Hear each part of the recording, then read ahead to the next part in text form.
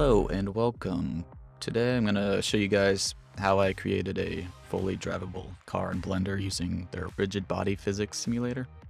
Uh, I thought it was really cool and it really took me a long time to figure out how to actually do it. So I decided just to share how it's done the process that it took. And uh, that's what I'm going to be showing you guys today. I hope you enjoy it. All right, let's get started. Start out by finding a model you want to rig. I found this one on Sketchfab by Karol. First thing I did is just clean everything up. I separated it into five parts, which is basically the car shell and the four tires. After separating your objects, set your origin point to the center of mass, uh, either surface or volume, whichever one works best. You just want the origin point to be directly in the middle of your object. The next thing you're going to want to do is to block out the five shapes. I just use a simple cube for the car shape and then a cylinder shape for the wheels. So for the cylinder shape, rotate it along the y-axis, the delta axis, and then align the wheel shape. And instead of just moving the object around trying to find the right place, it's simpler just to go to snap, uh, selection to active, uh, but I have bad habits, so also, friendly reminder is to organize and name and or categorize your objects. I usually just separate my rigid body objects from my model objects just so it's simpler to see. So there's a bug in Blender. For some reason, if you control Z a bunch of times, when you have rigid body constraints, it can crash. And so a way I found to avoid that is to go into your preferences under experimental and undo legacy it's going to make your undos a bit slower, but they are going to be more stable. So once you have that enabled, we can go ahead and create our rigid body physics. So I'm just going to click rigid body and the physics panel. So I'm just to make the cube an active rigid body, and I'm to make the ground plane a passive rigid body, as that way they can collide with each other. And I'm to do the same thing with the cylinder object. I'm to make them an active rigid body, and under the collision, I'm going to enable a cylinder. And for each of the other tires, I'm just gonna go into object, rigid bodies, and copy from active, and that's just gonna save some time. So the reason why you should use your cylinder and rotate it on the delta axis, Y, is because when you use the collision shape of a cylinder, you'll notice that the collision shape doesn't change at all in the edit mode, so you have to rotate it in the object mode. And so the reason why we don't just use the simple convex hull, it's not a perfect cylinder. You'll notice it's a bit bouncy and jumps around, and it's not as smooth as it is with a cylinder shape like what we have here. Alright, let's add our constraints. So let's go ahead and select the car in the wheel, good Object, Rigid Body, down to Connect, you'll see our constraint pops up. So to make sure our constraint is perfectly aligned with our wheel, let's select our constraint and our wheel, and go to snap selection to active. And so I'm going to use the connect and the selection to active a lot. So I'm going to right clicking, add to quick favorites, and then by pressing Q, you'll have it as a shortcut. So I'm just going to do that for each one of these objects. I'm going to connect the car to each wheel, and I'm going to snap the constraint to the wheel object. So right now it's a fixed constraint. We're going to want to change the constraint type to a generic spring. So in the generic spring, you're to notice that there's a bunch of limiters. And so along the angular axis, it's just, just the rotation of the axis. So we want to limit the rotation of the axis on both the z and the y axis. And then for the linear, it's just what's going to move along the xyz axis. So we don't want it to move at all along the x and the y axis, and we only want it to move along the z axis. I'm just going to leave it at its default, and I'm going to go ahead and enable the spring along the linear z axis. So I'm going to go ahead and do this same exact generic spring for the other back tire and with the same exact values as the first one. You notice when I enabled springs along the z-axis, see that our suspension is already coming in. So the, the stiffness of the spring is it's just going to be how stiff that spring is along the z-axis and the dampening is going to be basically how bouncy that spring's going to be. So now that we have that, let's go ahead and just parent our car shape to our car rigid body and our back tires to their back tire rigid bodies so that we can go ahead and see that our suspension's looking pretty good. So now that we have our back tire constraints, let's go ahead and create our motor constraints. And we do that by just simply a shift D, duplicating our generics spring, and then changing it to a motor constraint. The motor constraint has the same angular and linear, and remember angular is just rotating around an axis. So we're going to name the motor to rotate around an axis, and it doesn't tell you, but for some reason it only rotates around the x-axis, which is perfect for our case because that's the axis we want to rotate around. So we're going to do the same exact thing for our other back tire, make it a motor constraint, and I'm just going to play around with these settings a bit. We'll go ahead and fix those values later. I'm just going to disable them for now. Let's go ahead and move on to our steering. Let's duplicate our wheel and I'm just to shrink it down and change our fixed constraint. And instead of connecting the wheel to the car, we're to connect our wheel to our steering object. And we're to change the fixed constraint to a generic and again, we're only to want it to rotate it along the x-axis, so we're going to limit all other rotations and movement to zeros. And then I'm going to go ahead and connect our steering object to our car and then snap our constraint to our steering object. And this is where we're going to put our suspension and also have it rotate along the z-axis. So let's make our constraint here a generic spring and so we want to rotate around the, the z-axis. We want to limit uh, how far our tires turn, so I'm going to do 30 and negative 30. We're going to limit it to 0 on the x and y axis and then leave the z-axis default. And then we're going to enable our springs down here. And we're going to add a spring to the z-axis for the rotation. That way it will correct when uh, the motor's not going. And then add a spring to the z-axis to add our suspension. Alright, so now let's go ahead and make our motor constraint. And so we're just gonna duplicate our steering constraint and make that a motor constraint. And again, a motor constraint can only rotate along the x-axis. I'm gonna rotate that. So you notice when we change the value of our target velocity from a negative value to a positive value, it'll turn left and right. And so I want the positive value to turn right and the negative value to turn left. So I'm gonna go ahead and rotate the x-axis so it's upright. Alright, so I'm going to go ahead and make this wireframe so we can see it better, and I'm going to parent the wheel model to our rigid body object. I'm going to go ahead and test it out, and you see that it's starting to work.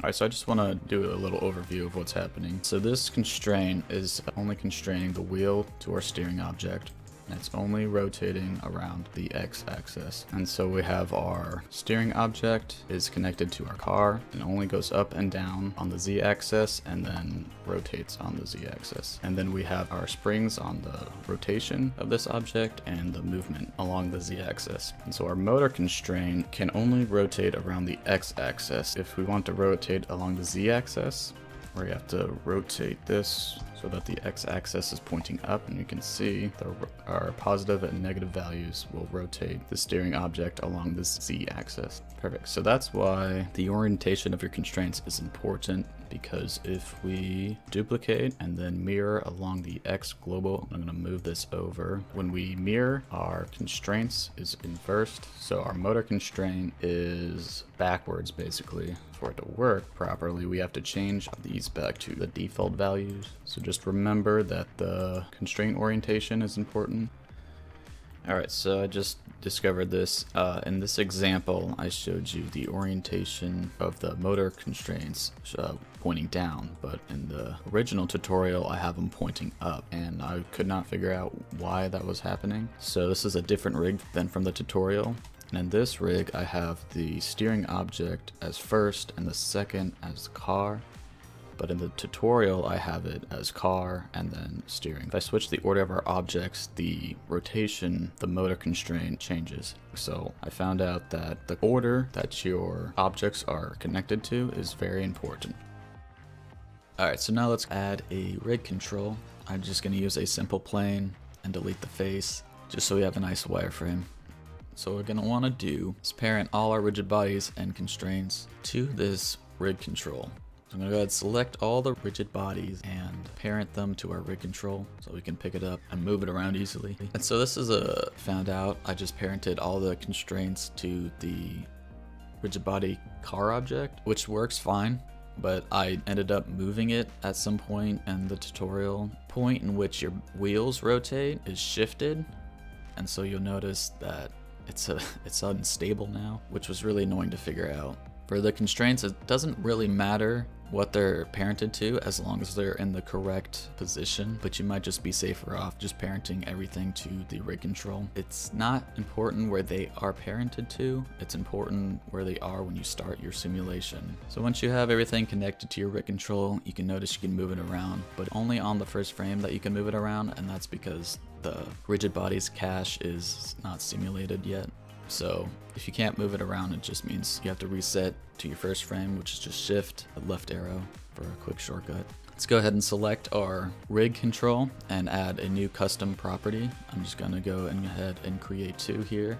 First one's gonna be the drive property. So this can control air back tire motor constraints. I'm gonna make the max value 10 and the minimum value negative 10 and set the default value to zero.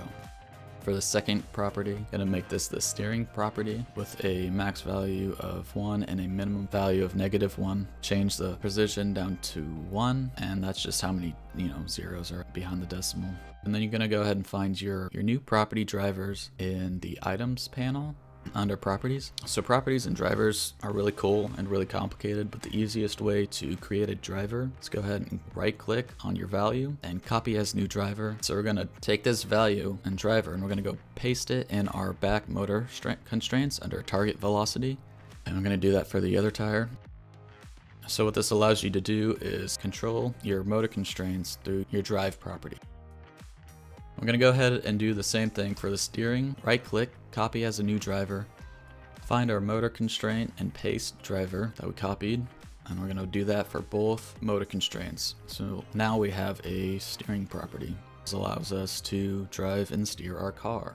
Next, you just have to fine tune for your specific car that you want. So go ahead and find your back wheel suspension constraint and just fine tune the value and just find a value along the limit constraint to limit how high or how low your suspension is going to be. Basically 1M, which is a meter, which is basically just one of these blocks on the floor. So it's going to depend on the scale of your object and the suspension of your car. Next, a good one is to find your steering constraint to find out where exactly the wheel that you want it to turn. And it's going to be different for whichever car you decide to rig. Uh, another thing to fine tune is the friction of your objects, so the friction of your ground and your tires can be found under the rigid bodies tab under surface response, which is going to be the friction or bounciness of your ground and wheels. Another thing you can do is to go ahead and block out the simple shape of your vehicle so that you can go ahead and add collisions with different objects. The reason I didn't do this in the beginning is because the car and the wheels can interact with each other. So now that our suspension's a bit stiff, and that's because the car rigid body and the wheels rigid bodies are hitting each other. So a simple way is just to change the collection layer that it's on. And the only reason I don't like to do this is because I forget which ones are on which. So since our tires are on the first layer and our car is on the second layer, an object will only collide with the first layer. So you have to make sure whatever object your vehicle is colliding with is on both layers. Another important thing to note is where the origin of your object is at because the weight is going to be distributed around that origin. So you notice if we move it to the back here, our weight is now shifted around that point, that origin. So we still get co collisions along our mesh, but the weight is shifted around the origin of your object. Typically, you can just change your object origin to geometry and it should be in the, around the middle. The origin is important for your wheels and car. Another thing to note is your rigid body constraints iterations. And you'll notice that when the constraint is stressed, our tires flex a bit. So to change that, you can just go to override iterations and just crank this up to a value that's more stable. Other important thing could be speed in your rigid body world. I find 1.5 is just a good overall value for me. Uh, another important thing to consider is the scale of your objects. You'll notice that if I scale all my objects up, our simulation is going to become a bit slower and that's just, it's calculating the weight and size of the objects and the smaller it is, the quicker it is. But you'll notice that any kind of change is going to ruin your constraints. So it's best just to decide your overall scale in the beginning. Another thing to note is how rigid bodies are cached. Down on the timeline, you can notice this yellow bar loading in your cache, and so it's going to save your cache until something changes. So it's always going to play the same cache, the same simulation over and over as long as you just reset it to the beginning of the timeline, unless you move or change a rigid body or a value. So that's important knowing because how the drivers are set up, if your rigid body objects aren't parented to the rig control and you change something in the rig control, it will just keep using the old cache over and over and you won't be able to change it. So it's important just to have those parented that way it knows that there's been a change. So you can use keyframes, but I just found out a better way to do it. It was to be, so if we want our car to go forward and then back and then drift off, we can go ahead and record those values and then our cache will be baked from that point. So we can just go to current cache to bake and that'll bake our cache that we recorded. And that's better than just pressing bake because once you do that, all your values that you changed in the middle of the simulation are only recorded from the final values or your current values at the beginning of the timeline. Okay, so I hope that wasn't too confusing, but uh, you can definitely get even more advanced with these kind of rigs. You just using the rigid body physics and constraints. You can make uh, much more complicated rigs like this monster truck. And you can, of course, do some cool things like break it apart and destroy it. And uh, I think I'm gonna make another video on actually how to connect your phone to Blender and actually drive the car around using an app called Jockey it's just kind of fun. Video will probably come out pretty soon, so stay tuned for that.